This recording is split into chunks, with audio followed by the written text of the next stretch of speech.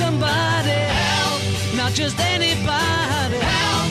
You know I need someone help.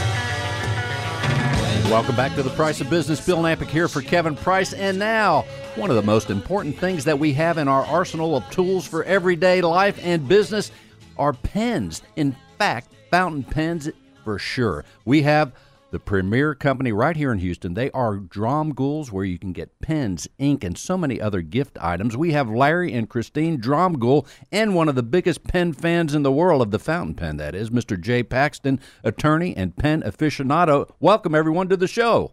Thank you. Thanks, Bill. Great Thank to you. see you. Very exciting. First of all, let's start with Jay. Jay, you have been a fan of the fountain pen. You have about five in your pocket right now. People can't see, but what is it that attracts you to the fun of writing with the fountain pen?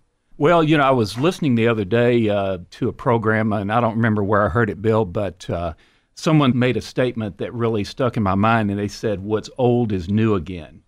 And as I was thinking about that, you know, we we live in an interesting time with a lot of interesting trends. I read an article that uh, Kodak now is going to be bringing back film. Some of their film that they had discontinued when digital cameras came in, and they discontinued manufacturing of film. And you know, Kodak went through a Chapter 11. It was really horrible for that company. Uh, they're bringing back some of their films. In particular, they're bringing back Super 8 movie film. Uh, my 30 year old son. Now, you're bought- talking old school, yeah, Jay. old Well, That's school. way Uh, old. my 30 year old son bought a Super 8 movie camera on eBay for his girlfriend for her birthday. He paid 99 cents. And I told him, I said, "What did you do that for?" And he said, "Well, that's what she wants." She said, "He said that's really cool, and she's really into that." And I said, "Okay, I won't tell her what you paid." But uh, anyway, so what's old is new again, and uh, you know we also see that with vinyl records. I was going to say, I know people that are in their 20s to 30s that are big vinyl record fans. There's a That's resurgence right. of that. That's right. You know, my other kid is into vinyl records. He doesn't buy anything. He doesn't download his music anymore because you know that generation grew up downloading MP3 files, and those vinyl records sound better. They they really do sound they do, better. yes. So, so the fountain pen is just part of that. You know, it's an old technology, but there's just a uh, an appeal to be able to write with a fine instrument that's a little spring to the nib, the glisten of the ink as it goes on. You can get so many different colors, so many different varieties. It's just really cool. Exactly. And I've been enjoying the fountain pen since I met you years ago. I have five in my arsenal right now. And as you're talking about the way the ink flows and glistens on the page, it's exciting. If people haven't realized that, go to Dromgoole's and get a fountain pen. You only have five pens. I only, What's wrong wait with a minute, you, that's, Bill? en- that's enough. Now, you let- need to go see Larry and Christine today. Well, I'm looking at Larry and Christine right now. Hey, Larry, let's tell people about Dromgoole's. You have been in the pen business, but you also have gifts and other things at your store. Tell us about your company. I'm the third generation. My, my dad and grandfather started the business in 61. My wife and I bought the business in 88, and about that time is when we got into the fountain pens. So it's been a very good business for us, and we're starting to see a lot of the younger crowd get involved in it. And also, let's tell people where you are. You're right, because people hear this show all over. You're right here in Houston, Texas. In fact, a business traveler that might be stopping in Houston may want to come by your pen store, or people here in Houston. Tell them where you're at, Larry. We're in the Rice University Village right off of Kirby Drive. It's 2515 Rice Boulevard. And that's kind of a fun area to visit. And your store is just also just a great destination for people. You can go into the store and look at the pens and, and just be fascinated by the array and, and, and styles. And also, you have a, a thing, I think you call it the ink bar, where you have like, I don't know how many, hundreds of ink bottles there with all different colors and things. Tell us about the ink. Well, I mean, it, it- just turned into a toy store, is what it's turned into. So people come in and they'll stay for hours playing with the different colors of ink. I mean, we have several different brands and over, you know, probably 400 different colors. It's unbelievable. Also, give us an idea. A lot of times when people think, especially uh, I'm in the real estate world, people think about the pens as gifts. They sign very important documents at the real estate closing, and certainly Jay, as you're an attorney, you're, you're signing things, and people are signing things all the time. What are some of the popular brands, Larry? Mont Blanc is by far the biggest, but we carry about 45 different brands, and we're getting ready to go into a busy season with graduation, Father's Day. We're looking forward to it. In fact, two of the pens I have are, are a brand called Conklin, and I've gone to the Conklin website after buying them at your store, and I think they have a quote. For, actually, Mark Twain used to use a Conklin pen, so they go back into history. They certainly do. We've got lots of older pens plus limited editions. And Christine, you are by the side of Larry and the team there at Dromgoole. Just say a word of your observation why the pen is so much fun, the fountain pen that is. I think that pens are fun because I, I think in the digital world that is easy.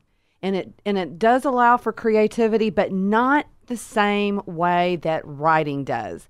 And I think that the younger generation, as well as the old, find a, a, a source of, or I guess a, a sense of creativity and an outlet that a computer in the digital world does not provide. There's something about moving your hand and doing something that something in the brain from the hand, head to the brain to the hand that actually allows somebody to express their personality. I'm glad you mentioned that. I was thinking about that as Jay was describing it. Creativity is so important, right, Jay? Oh, absolutely. And uh, what Christine said reminded me of a, a, story I read in Pen World magazine a couple of years ago about a study that was done with college students where they tested them.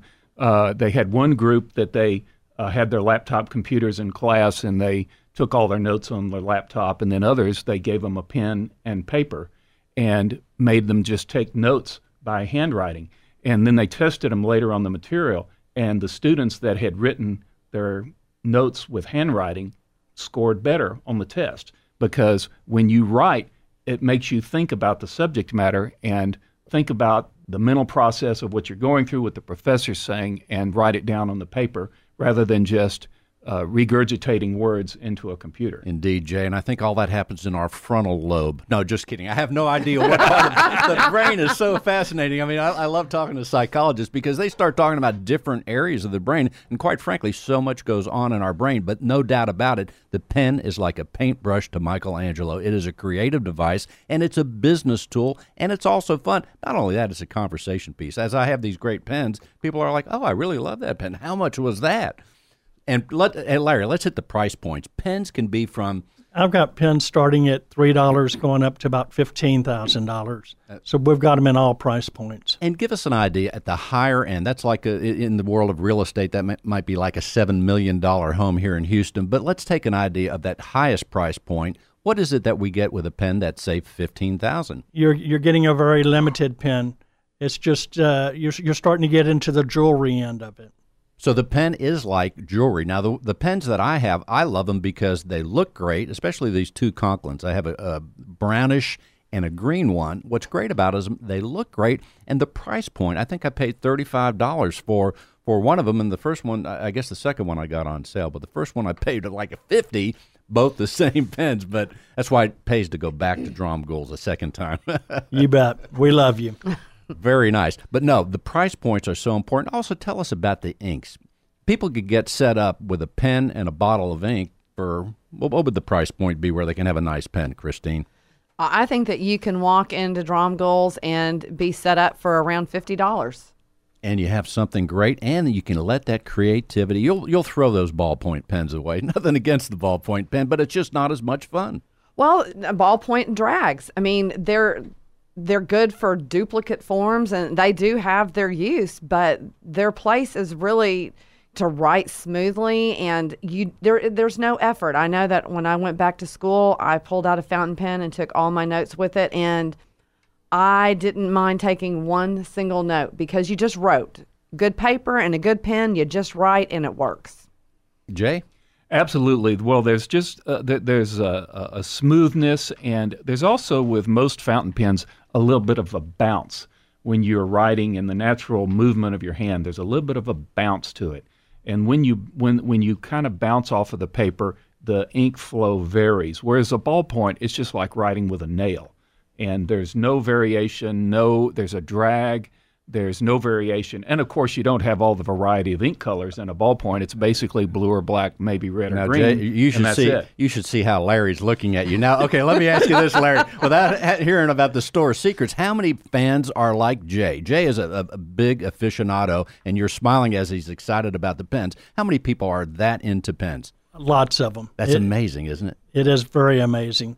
Come by and see us. And let's tell people again, Larry, where's your store? 2515 Rice Boulevard. That's in the Rice University Village off of Kirby Drive. And the website, I guess, is under construction, but they can go to the website at some point. Yes, dromgooles.com. Dromgooles.com.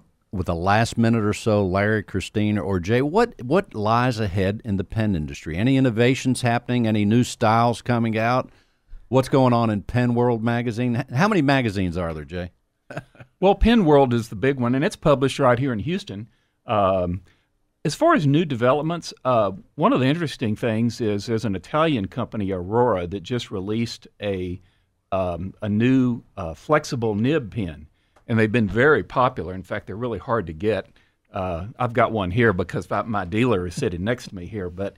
Uh, nice these pen, pens, yes. they what they did is they resurrected a technology from the 1920s or 30s with a flexible nib where you can put uh, make your writing like it's italicized. Very nice. And that ends the segment. Let's say this, too. If someone has a fountain pen that's been sitting in their drawer, they want to revitalize, they have a pen doctor there, too, don't you, Larry? You bet. Bring it in. We'll help Where you. Where have with you ever heard of the pen doctor? Thank you so much. Once again, the address, Larry? 2515 Rice Boulevard. Very nice. In Houston, Texas, Dromgoole's, you've been listening to The Price of Business. That was Larry, Christine, and Jay. We're coming right back with even more. Go get a pen at Dromgoole's right now.